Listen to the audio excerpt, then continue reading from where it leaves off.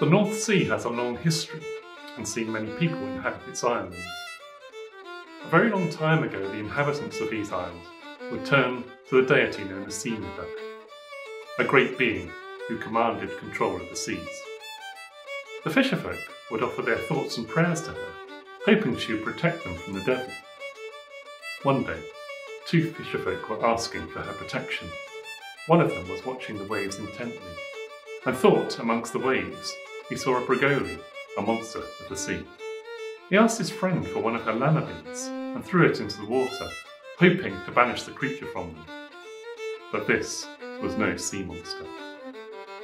The autumn weather was beginning to change the water, turning calm ripples to violent waves as winter approached. The fisherfolk knew that Teran was preparing to make his stand against Seamither and that Gore Vellye was upon them. The water became rougher and the winds raised. Teran battled Seamither, their fights conjuring up fierce storms, each rolling wave a blow against the other. Teran was powerful and wanted control of the sea for himself. Seamither was weakening. She had spent all spring and summer keeping the sea at peace, and was now faltering as Teran lashed and thrashed. Exhausted, Seamither had to retreat, leaving command of the sea in Teran's hands. The winter was harsh under his rule, with the turbulent weather seeming to last for weeks on end. During this violence, the fisherfolk held strong, wishing and praying for the foul weather to end. Sea Seamither heard their prayers and spent the winter resting and rebuilding her strength. When she was ready, she approached Teran, initiating Vore Tullye. She summoned coils of seaweed, bringing them up to surround and restrain Teran.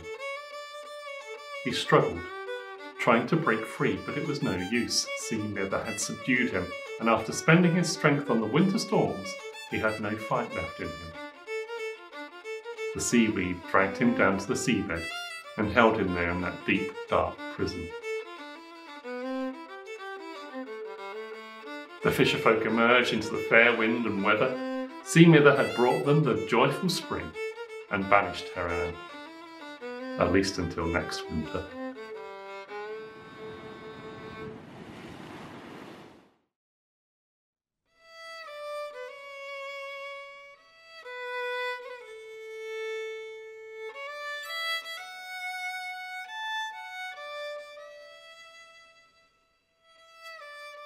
Many a year ago, there was a young couple in love. They would meet in the evenings after the long day's work, and soon they wanted to marry. The bridegroom set out one night with his yappy dog to the minister's house to make the proclamation. It was tradition for the best man to accompany him on this outing, so he went out to meet him. On his way, the bridegroom passed a kirkyard and his yappy dog ran inside. He followed him in, and found the dog intently sniffing on a human skull. The bridegroom picked up the skull out of the way of his yappy dog, and he said to the skull, If you weren't dead, you could come to my wedding. The bridegroom put the skull back down and beckoned to his dog as they left the kirkyard and proceeded onwards. He met with the best man and they went to make the wedding proclamation. The banns were read on Sunday and the wedding took place a few days later. The wedding reception took place at the bride's house, and just as it was reaching its height, there was a knock at the door. The best man attended the door and found a well dressed stranger looking for the bridegroom. The stranger asked that the bridegroom come with him and talk. The bridegroom agreed, hoping that this wouldn't detain him too long, and he followed as the stranger led the way to his house. When they arrived, the stranger asked the bridegroom to sit at a specific seat at the table across from him. On the table, a candle flickered as the two men talked. The bridegroom fidgeted often, saying, I should be going back soon. The stranger reached out to the candle on the table, making a mark into the wax with the nail of his thumb. We can talk until this mark is reached, the stranger said and they continued their conversation. The bridegroom looked at his surroundings, taking in the room until he looked up and saw that above his head a millstone was suspended. held up by a single human hair. The stranger told him not to worry, as no harm would come to him because he didn't let his dog harm the human skull. The bridegroom was very confused. The stranger continued, You invited me to your wedding, so here I came. Bridegroom looked at the stranger in disbelief. Now knowing that the skull he had found belonged to this man in front of him, the bridegroom once again said he should be getting back to the reception. The stranger looked at the candle, which had melted down to the mark that he had made, and agreed that the bridegroom should be going. The bridegroom he hurried back to the bride's house. He stepped inside to find a strange woman sweeping the floor. She was dressed in a way that the bridegroom had never seen before. The woman raised her head and looked at him as he had asked where the reception had gone. She blinked and told him there had never been a wedding here in her time. Her granny once told her a tale of a wedding where the bridegroom had left with a stranger and was never seen again. The bridegroom stared at her in alarm, realizing just how long he'd been gone for. The woman watched as the bridegroom turned to ashes where he stood. She shrugged and continued sweeping, brushing away the bridegroom's ashes, as if he had been nothing more than stray dust. And that, sadly, was the end of him.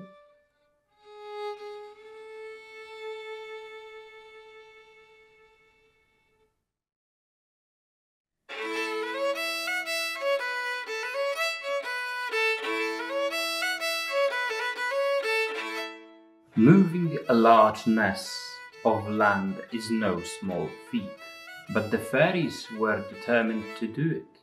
By moving the nest, they could make a bridge which spanned the watery gap between the islands of Shetland and allow people to walk across without the need to rely on boats and good weather. The nest of Huland was their target. The ferries worked day and night to transport it eastward along the coast. By the time sun rose one day, the fairies were exhausted and sat down to have their breakfast. They each took out a bowl of porridge, eager to tuck into their well earned meal. The youngest of the fairies was Peerie Merran. She longed to eat her porridge and regain her strength. She reached to her belt for the spoon, but it wasn't there. Peerie Merran started fumbling about, searching for her elusive spoon. The commotion caught the gaze of the lead fairy, who promptly said, Ka fastan supshun for Peerie Merran wants a spoon. The other fairies hurried and to finish their porridge, and Peerie Merran sat patiently waiting for the loan of a spoon. However, the other fairies were in such a hurry that when they finished their meal, they jumped straight up and headed back to work. Peerie Merran followed, hand to her growling stomach. The fairies prepared to lift the nest once more. They reached down and lifted. Peerie Merran tried her best to lift her part of the nest, but without the nutrients from her breakfast, she had no strength. She strained under the weight of the nest. It was so heavy and her back hurt. She reached a hand to her back and let go of the nest. The other fairies couldn't keep it raised without her, and the nest fell, trapping Peerie Merran under it as it went. The nest of Huland now lies broken in three. It is said that Peerie Merran is still trapped underneath. A lesson was learned that day. It is very important to make sure you eat your breakfast.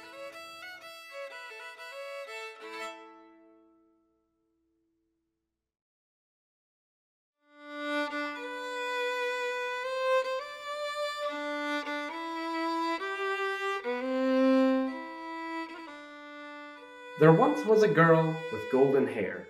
She wore it long and free, for it refused to be tamed, an uncommon style for the time. The girl's mother had been bewitched by Trowes, and no one had been able to enact any rituals to help her.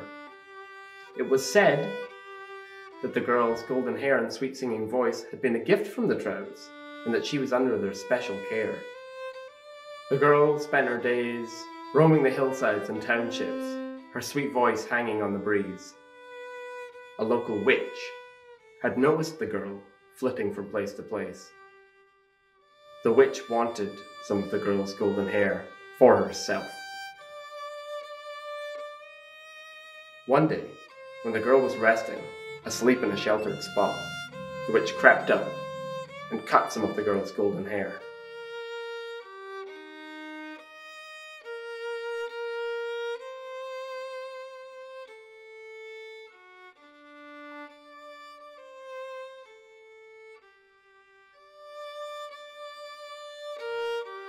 When the girl woke, she was distraught.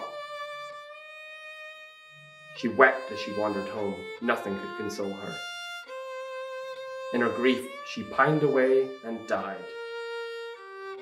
After she was laid to rest, the townsfolk would speculate that now that she was at peace, the girl's golden hair would grow back again.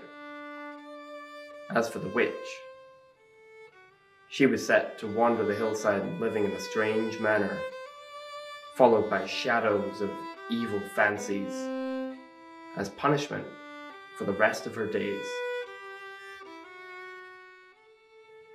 Every night she was kept awake by the constant noise and sounds of the Trowes, until eventually she was spirited away, never to be seen again.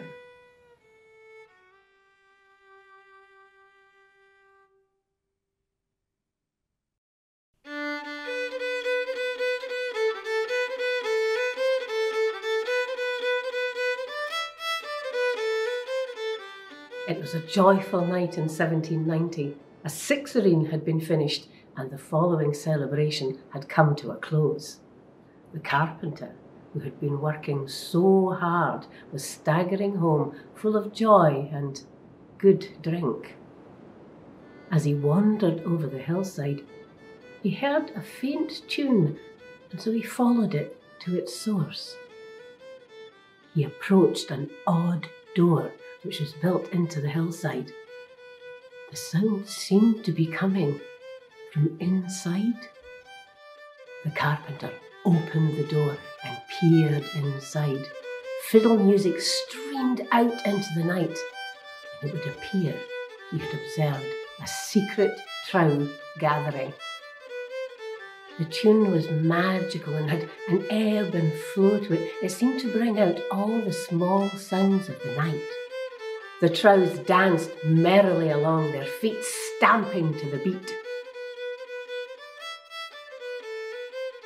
The carpenter closed the door carefully and then hurried along to his own home, hoping that his drunkenness wouldn't hinder him from remembering that enchanting melody.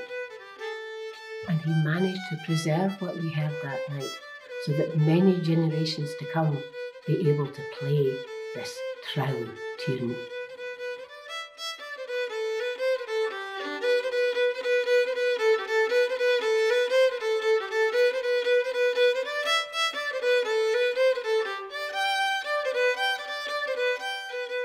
He named the tune after the first location that he heard it in, Aith in Cunningsburgh, and to this day that tune is known as the Aith Rant.